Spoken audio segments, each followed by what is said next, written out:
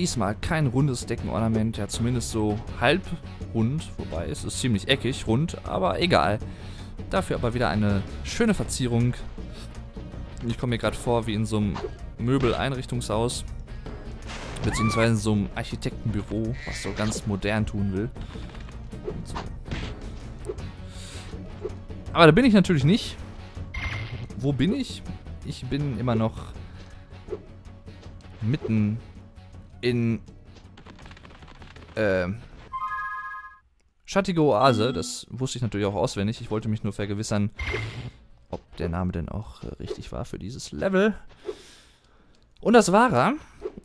Und was auch richtig ist, das weiß ich noch aus dem Kopf und aus der Erinnerung von gerade eben, das brauche ich nicht nachzugucken, ist, dass wir die restlichen zwei Lampendiebe, aka Eierdiebe von damals aus Spyro 1, noch jagen müssen. Das sollten wir hinkriegen. Der erste war gerade eben in der letzten Folge für euch gar nicht mal so einfach wieder. Man hatte alle Gelegenheit, genau sowas zu machen, in die Lava reinzuplumpsen. Habe ich natürlich jetzt auch gerade extra gezeigt. Weil, äh, sonst könnt ihr euch das ja nicht vorstellen. Ich habe das ja noch nie gemacht bisher. Ich bin ja noch nie irgendwo reingefallen, wo man reinfallen könnte für das Spiel, ne?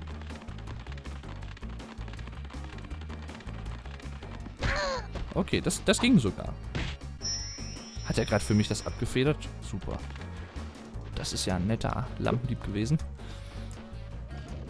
Ah, da ist wieder der... Ich glaube, dann mache ich mal eben den, den äh, Geist mit diesem Lava-Granatenzeug. Das granatige Granatenzeug der Lava Corporation. Vor allem wie provokant er sie es da schon fliegt. Voll in den Leisten gegen. So. Drei Gegner können wir noch plätten, wenn ich mich recht entsinne. 21 sind es in diesem Level. Wahrscheinlich haben wir diesen komischen Superflug-Powerpunkt, der gar nicht komisch ist, ich ihn aber so nenne, haben wir schon längst aktiviert. Aber, naja, da ist der... Ach, sieh mal einer an. Oh, das wird wieder ein bisschen... Uh, tricky.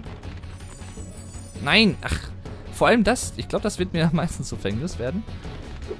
Dass er da dann immer in diesen blöden Dingens reinfliegt. Boah, das war, das war fies. Voll gegen die Kante gesprungen. Na komm.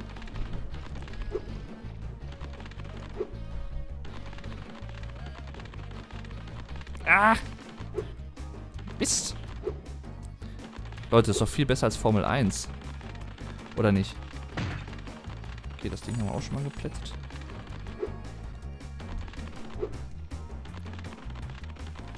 Wer braucht schon Sebastian Vettel und Lewis Hamilton, wie ich ihn immer gerne nenne?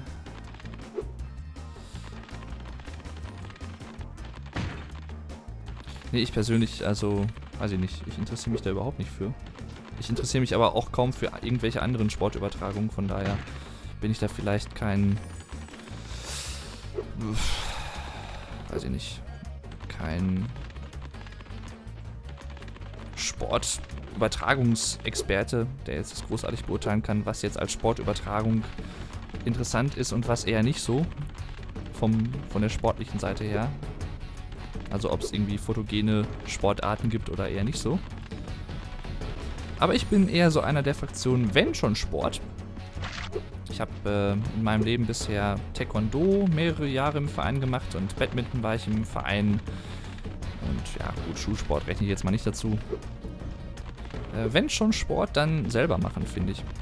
Da hat man erstens sehr selbst viel, viel mehr von. Man kann neue Leute kennenlernen. Unter anderem, man hat Spaß. Teilt sich den Spaß mit anderen. Uah, Hilfe. So, ich muss jetzt mal eben Pause machen, bevor ich jetzt gleich Game Over habe.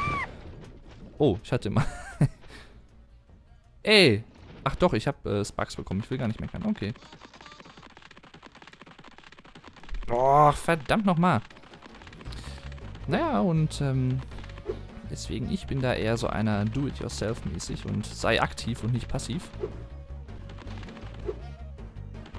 Was ich aber auch, glaube ich, grundlegend so als so ein Motto von mir ansehe. Was mehrere Sachen angeht. Wo man immer so sagt, ach, das würde ich ja gerne mal machen und ach, das wäre ja auch mal interessant.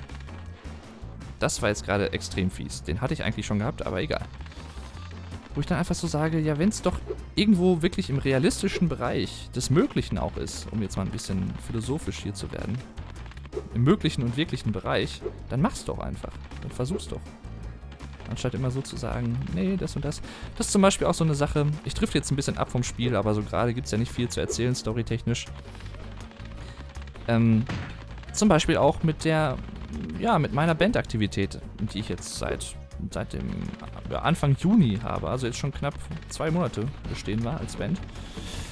Ähm, das war auch so eine Sache, wo ich auch früher manchmal so gesagt habe, ja, könnte man mal machen, wenn sich die Gelegenheit ergibt.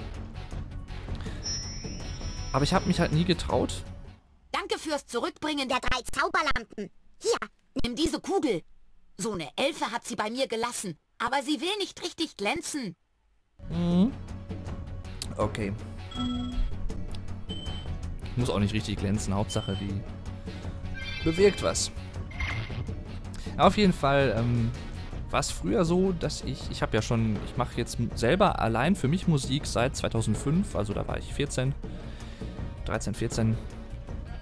Ähm, und mache ja auch bis heute noch selber so für mich Musik.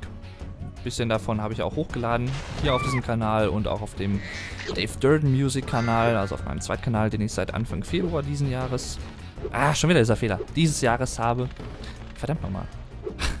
so was ärgert mich mal. Egal.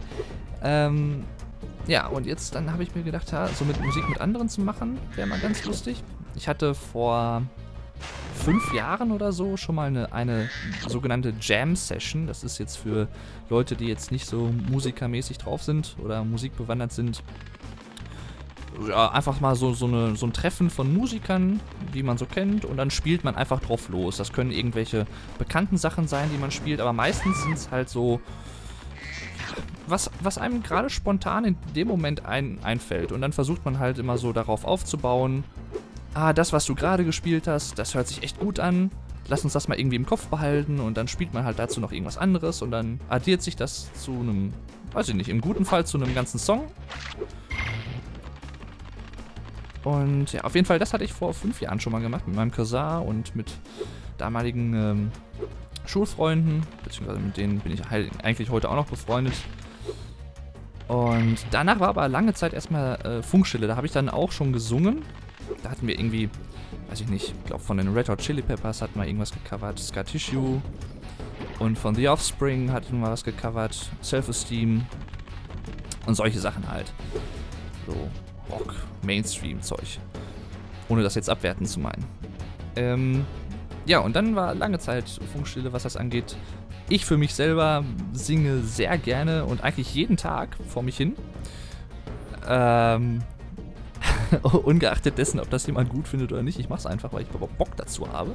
B -b -b Bock. Ähm, ja, und dann dachte ich mir, jetzt durch die Uni mittlerweile auch wieder viele Leute kennengelernt.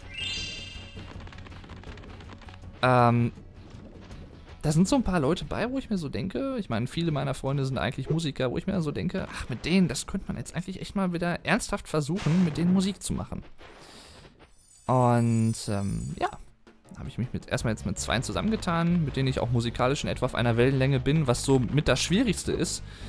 Weil man hat zwar immer viele Leute, mit denen man hier und da so ein bisschen ähm, ja, musikalisch auf einer Wellenlänge ist, aber nicht so ganz, dass, dass man sagen würde, okay, damit möchte ich jetzt, mit denen möchte ich jetzt in einer Band spielen und mit denen kann ich mir das auch gut vorstellen. Ne, und das ist bei den beiden Flitzbeep, mit dem ich das jetzt mache, ist das auf jeden Fall gegeben. Spyro, meine Brüder sind in Stein gefangen. Ich fürchte, du musst erst eine Art Kopfstoß lernen, bevor du uns helfen kannst. Mhm. Danke, dass du mich dran erinnerst, Grunzi. Ja. Und dann habe ich jetzt mal mit einem Freund, der Gitarre spielen kann, vor der Uni. Und ich sollte vielleicht besser zielen lernen. Habe ich jetzt mal ein Gesangscover aufgenommen, beziehungsweise er hat Gitarre eingespielt und die Drums mit so einem Drum, Drum Drum, mit so einem Drum-Programmierungs- äh, ja, Tool aufgenommen, was echt ziemlich gut klingt für ein digitales Programm, was sowas angeht, muss ich sagen. Also und ich habe halt drüber gesungen. Und im Nachhinein war es vielleicht nicht der optimale Song für mich, zumal es auch ein zweistimmiger Song ist und ich habe halt nur einstimmig gesungen und ich hatte deswegen ein paar Probleme, mich zu orientieren. Aber im Nachhinein war es ein guter Schritt, weil ich mich das erste Mal damit dran getraut habe, vor anderen Personen so zu singen, bewusst. Ich habe doch drauf gezielt, verdammt. Muss mich nochmal anders hinstellen, das gibt's doch nicht. Ne? Und ja. Sonst hätte ich wahrscheinlich auch nie irgendwie großartig was. Ich meine, das sagt man immer so, nie. Aber dann hätte ich erst jetzt erstmal in den, der nächsten nahen Zukunft damit nie angefangen, mit irgendwem auch nur gedanklich in irgendeiner Band spielen zu wollen. Und so bin ich froh, dass ich über meinen Schatten gesprungen bin und gesagt habe, nee, komm, das machst du jetzt einfach. Du hast nichts zu verlieren, du hast nur was zu gewinnen. Und deswegen kann ich das nur jedem anderen auch empfehlen, wenn er irgendwelche solche Sachen hat. Einfach machen, einfach versuchen. Das klingt simpel. Ich weiß, das ist immer schnell gesagt. Aber nicht alles, was schnell gesagt ist, ist auch schwer, zu, schwer umzusetzen, auch wenn das bei manchen Sachen der Fall ist. Das ist doch jetzt nicht wahr. Das ist, jetzt nicht wahr, oder? Ich mach das, muss auch mit den Dingern zerstört werden. Bin ich mir aber ziemlich sicher. No. Deswegen entschuldigt, wenn ich immer ab und zu mal ein paar, paar Mal abschweife mit anderen Themen, die mit Spyro nichts zu tun haben, aber ganz ehrlich, es gibt hier auch nicht immer irgendwas Spannendes und ultra Wichtiges zu kommentieren. Das muss man auch klar dazu sagen. Wie weit fliegt das Ding denn? Ich, ich habe jetzt mal eine andere Taktik. Vielleicht ist das Spiel ja so symmetrisch aufgebaut,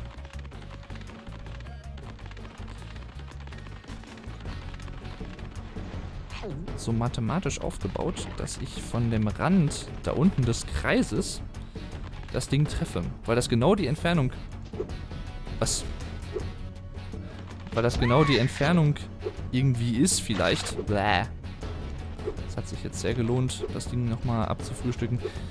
Ähm, die man braucht, um diese olle Schatzkiste, nenne ich es jetzt mal, um diesen ollen Tresor zu öffnen, den Safe zu knacken.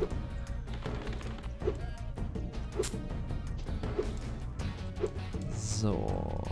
Daher. Haha. Moment. Penner. Ey! Mist, verdammter. Ah. Ärgerlich. Wo war denn jetzt? Ich bin gerade ganz durcheinander. Wo ist denn jetzt hier das Lavabecken gewesen? War es hier? Vielleicht soll ich auch einfach mal die anderen beiden Flitzpiepen. Oh, und vielleicht soll ich auch erstmal einen, einen Sparks einsammeln.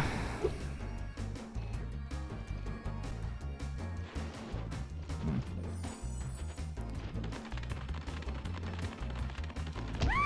So.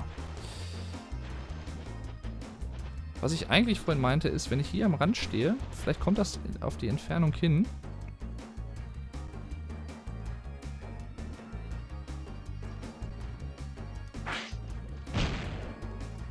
Wäre hingekommen, aber es ist... Ich glaube, die kann man damit einfach noch nicht öffnen. Das kann man wahrscheinlich auch erst mit dem Kopfsprung machen. Würde ich jetzt so sagen. Das, was er da hatte, kann ich auch noch nicht machen, denn ich kann den Kopfsprung ja noch gar nicht. Habe ich übrigens schon erwähnt, dass ich den Kopfsprung noch nicht gelernt habe? Ich weiß es nicht. Ähm, ja. Was ich übrigens auch noch nicht, noch nie vorher in irgendeiner anderen Folge erwähnt habe und es jetzt zum ersten Mal tue. Es ist leider so, ich habe ja hier einen sogenannten Timer rumliegen und der zählt mir immer die Zeit ab für die Folgen. Und dieser Timer ist jetzt zum ersten Mal überhaupt abgelaufen.